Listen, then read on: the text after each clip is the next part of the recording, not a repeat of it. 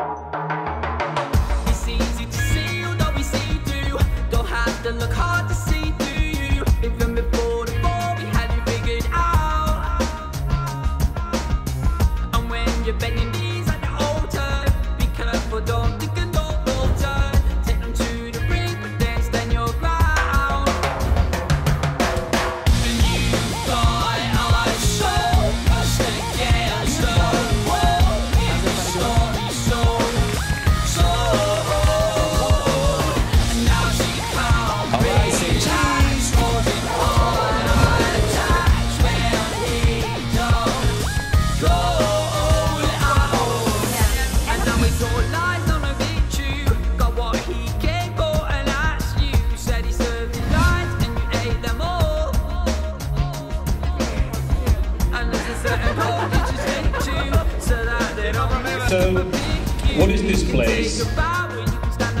Together with 140 students,